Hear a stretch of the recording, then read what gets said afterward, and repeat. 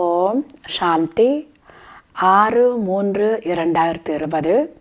இன்று மாலை அவ்யக்த பாப்தாதாவை நாம் அனைவரும் சந்திப்போம். சக்கார முரளி முரளியின் சாரம். இனிமையான குழந்தைகளே இந்த பழைய உலகில் அற்ப கால ஒரு நொடிக்கான சுகமே உள்ளது.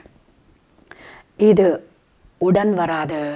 இந்த சுகம் உங்களுடன் வராது. தங்களுடன் அழிவற்ற ஞான ரத்னங்களே வரும்.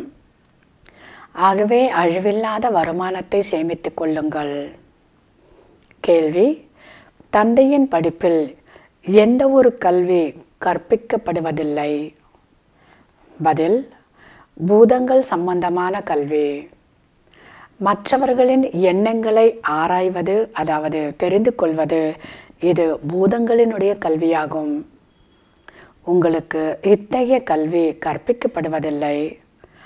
பாபா மனதில் உள்ள எண்ணங்களை அறிபவர் அல்ல. அவர் எல்லாம் அறிந்தவர் அதாவது ஞானம் நிறைந்தவர். தந்தை வருவதே உங்களுக்கு ஆன்மீக கல்வியை கற்பிப்பதற்காக. இந்த கல்வியின் மூலம் உங்களுக்கு இருபத்தோரு பிரிவுகளுக்கான ராஜா பதவி கிடைக்கின்றது. ஓம் சாந்தி. சிலர் உறுதியான நிச்சய புத்தி உள்ளவர்களாகவும் ஒரு சிலர் குறைவாக புரிந்து கொள்பவர்களாகவும் வரிசை கிரமம் உள்ளதல்லவா? குழந்தைகளாகிய நீங்கள் இப்பொழுது பரம்பிதா பரமாத்மாவிற்கு முன்பாக அமர்ந்திருக்கின்றோம் என தெரிந்துள்ளீர்கள். ஆத்மாக்களும் பரமாத்மாவும் பல காலமாக பிரிந்திருக்கிறோம் என பாடப்படுகிறது. மூலவத்தனத்தில் ஆத்மாக்கள் பிரிந்திருக்கின்றன என்ற விஷயம் இல்லை பரம்பிதா பரமாத்மாவிடமிருந்து பிரிந்து இங்கு நம்முடைய பாகத்தை நடிப்பதற்காக வருகின்றோம். நீங்கள்தான் முதன் முதலில் தந்தையிடமிருந்து பிரிந்தவர்கள். ஆகவே சிவ பாபாவும் கூட உங்களைத்தான் முதல் முதலில் சந்திக்கின்றார். உங்களுக்காகவே பாபா வர வேண்டியதாக இருக்கிறது. கல்பத்திற்கு முன்பும் கூட இந்த குழந்தைகளுக்கு தான் கல்வி கற்றுத்தரப்பட்டது. பாபா சொல்கிறார் தர்மத்தில் சக்தி இருக்கிறது என்று கூறப்படுகிறது. தர்மத்தில்தான் சக்தி உள்ளது. லக்ஷ்மி நாராயணன் எவ்வளவு சக்தி உள்ளவர்களாக இருந்தனர் என்று உங்களுக்கு தெரியும். பாரதவாசிகள் தங்களுடைய தர்மத்தை தெரிந்து கொள்ளவில்லை. யாருடைய புத்தியிலும் பாரதத்தில் நமது தர்மம் இருந்தது. அதாவது தேவி தேவதா தர்மம் இருந்தது என்று ஒருவரும் தெரிந்து கொள்ளவில்லை. தர்மத்தை அறியாத காரணத்தால் நாஸ்திகர்கள் ஆகிவிட்டனர். நாம் சொந்த தர்மத்தினராக ஆனதனால் எவ்வளவு சக்தி உள்ளது? குழந்தைகளாகிய நீங்கள் இரும்பு யுகமாகிய மலையை தகர்த்து தங்க யுகமாக மாற்றுகின்றீர்கள். பாரதத்தை தங்க மலையாக உருவாக்குகின்றீர்கள். அங்கு அளவில்லாத தங்கம் சுரங்கம் நிரம்பி உள்ளது. தங்கம் மலையாகிறது பிறகு அது திறந்து கொள்கிறது. தங்கத்தை வெட்டி எடுத்து தங்க கற்களாக ஆக்கப்படுகிறது. மாளிகைகளும் கூட பெரிய தங்க கற்களால் கட்டப்படும். பாபா சொல்கிறார் ஞான ரத்தினங்களின் சேமிப்பு தான் கூடவே வரும். மேலும் இருபத்தோர் பிரிவுகளுக்கு இதன் பலனை அனுபவம் செய்வீர்கள். ஆம் அழியக்கூடிய செல்வத்தால்.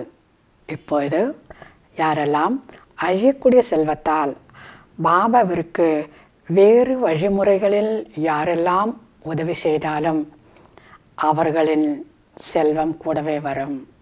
அவர்கள் செய்த அந்த நல்ல கர்மத்துடைய பலன் கூட வரும். பாபா நம்மிடமுள்ள மதிப்பில்லாத சூழ்ச்சிகளை வாங்கி கொண்டு நமக்கு அங்கு மாளிகைகளை தருகின்றார். அமெரிக்க மக்கள் நிறைய செலவு செய்து மிக பழமையான பொருட்களை வாங்குகின்றனர். அப்படி மனிதர்கள் பழைய பொருட்களை அதிக விலை கொடுத்து வாங்குகிறார்கள். அமெரிக்க மக்கள் பைசா பெறாத பொருளுக்கு ஆயிரம் ரூபாய் அளவிற்கு கூட கொடுக்கின்றனர். பாபா எவ்வளவு நல்ல வாடிக்கையாளராக இருக்கிறார். அதனால்தான் அவரை கள்ளம் கபடமற்றவர் என புகழ் பாடுகின்றனர்.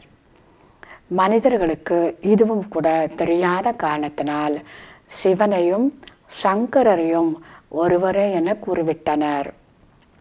எங்கள் பையை நிரப்புங்கள் என்று கூறுகின்றனர். நமக்கு இப்பொழுது ஞான ரத்தினங்கள் கிடைக்கின்றன. இவற்றால் நம்முடைய புத்தி என குடிப்பை நிரம்புகிறது. பாபா சொல்கிறார் இந்த ஞானத்தை தருபவர் ஒரே ஒரு தந்தைதான்.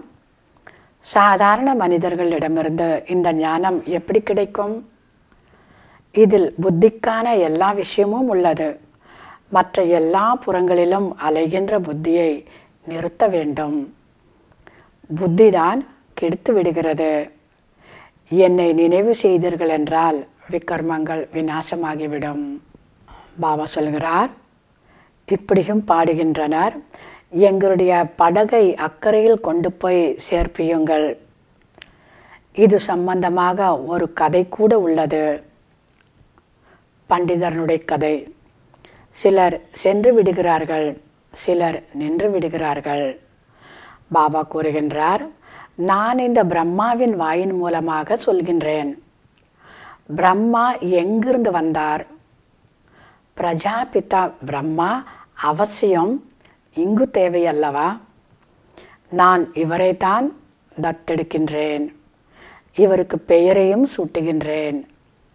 நீங்களும் கூட பிரம்மா வாய் வம்சாவளி ஆவீர்கள். நீங்கள் அனைவரும் பிரம்மாவினுடைய வாய் வம்சாவளி ஆவீர்கள் யார் முழுமையாக எண்பத்தி நான்கு பிறவிகள் எடுக்கின்றார்கள் என்று உங்களுக்கு தெரியும்?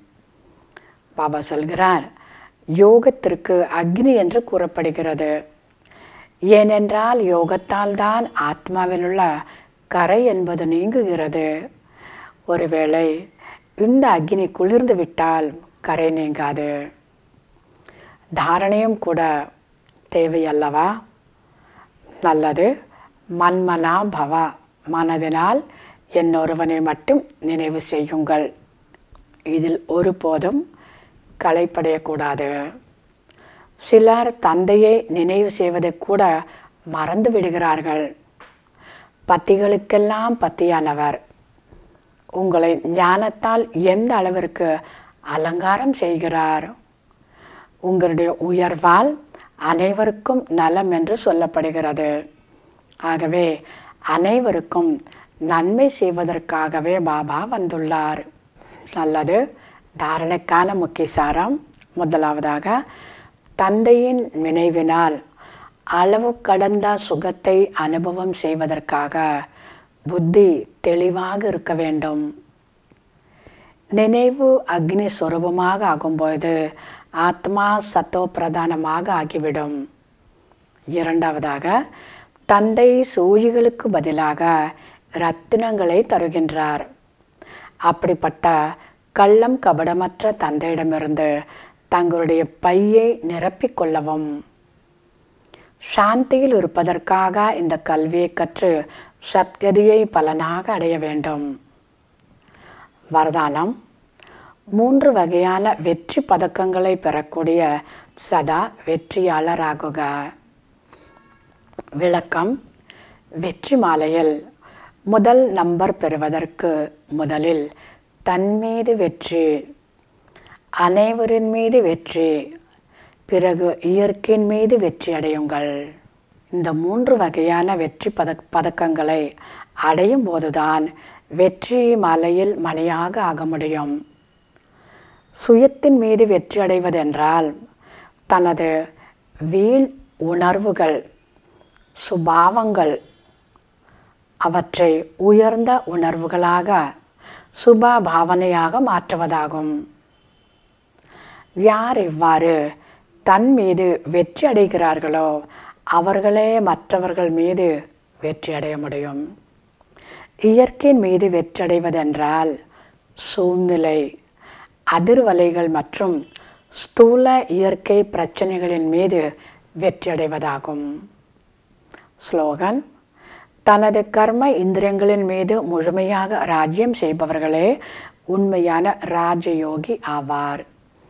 நல்லது இனிமையிலும் இனிமையான ஐயாயிரம் வருடங்களாக காணாமற் போய் மீண்டும் கண்டெடுக்கப்பட்ட செல்ல குழந்தைகளுக்கு தாய் தந்தை பாப்தாதாவின் அன்பு நினைவுகள் மற்றும் காலை வணக்கம். ஆன்மீக குழந்தைகளுக்கு ஆன்மீக தந்தையின் நமஸ்காரம். ஆன்மீக தந்தைக்கு ஆன்மீக குழந்தைகளின் நமஸ்காரம். ஓம் சாந்தி.